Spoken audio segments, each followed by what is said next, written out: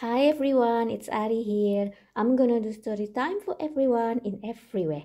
Today I'm gonna read Big Panda and Tiny Dragon by James Norbury. And this time I'm gonna read the summer part. Let's get started. Oops.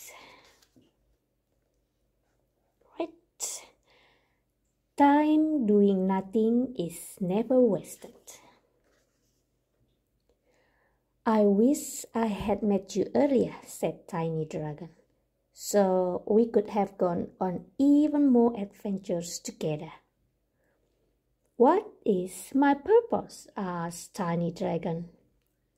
Big Panda paused, then said, To sit on that stone and be with your friend.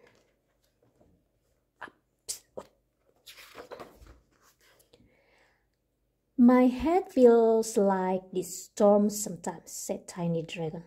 If you really listen, said Big Panda, you can hear the raindrops splashing on the stone. It's possible to find a little peace even in a storm. An elder dragon is a tiny dragon who never gave up.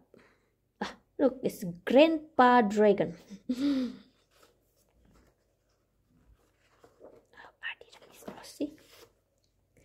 We have a long way to go, said Big Panda. Tiny Dragon grinned.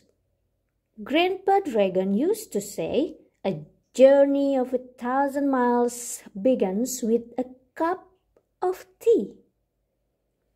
You're a good listener, said Tiny Dragon.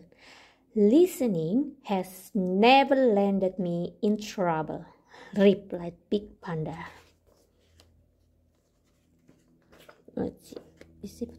I can't find the right place for this last branch, half Tiny Dragon. Big Panda chewed his bamboo thoughtfully.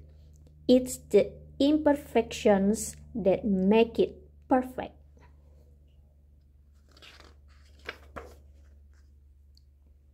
The best thing to have with tea, said Big Panda, is a good friend.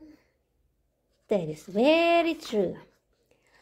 I'm worried, said Tiny Dragon. I don't know what to do next. For just a moment, said Big Panda, stop breathe, and listen to the wind in the bamboo. What are you doing? asked Tiny Dragon. I've no idea, said Big Panda, but it's great fun.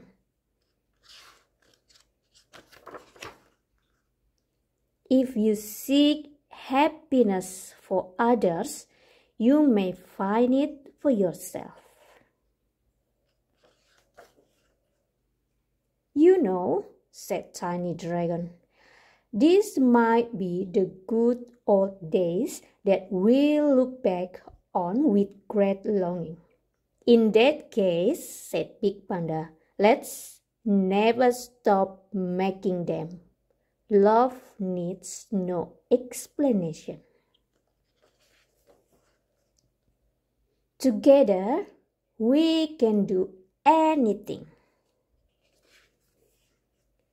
Some people are like candles. They burn themselves out to create light for others.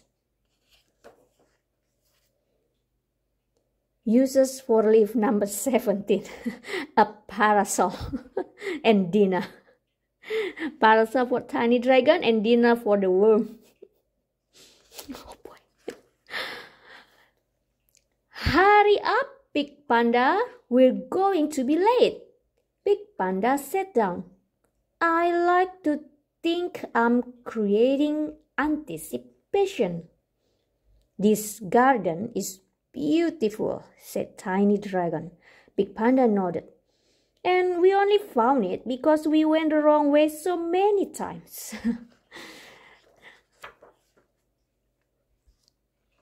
you don't do much, said Tiny Dragon. I'm full of potential, young Big Panda. Oh, that's it. that's for the summer story. So I will continue with the autumn part in autumn.